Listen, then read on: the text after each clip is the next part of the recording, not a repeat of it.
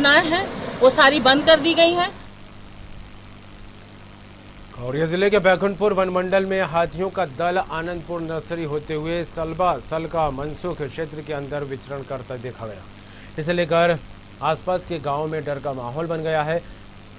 One अमला पूरी तरह से मुस्तैद हुआ और लगातार 24 घंटे हाथियों के दल पर निगरानी रखी गई। चार दिन बाद हाथियों का दल दूसरे ज़िले सूरजपुर जाने के बाद आसपास के गाँवों के लोगों और वन अमले ने राहत भरी सांस ली। वहीं अब की बार आए हाथी दल से किसी प्रकार की जनहानि नहीं हुई है सिर्फ़ कुछ गाँव में मक्का और धान की फ़सलों को नुकसान पहुँचा है इसके लिए किसानों को नियमानुसार मुआवजा राशि दी जाएगी।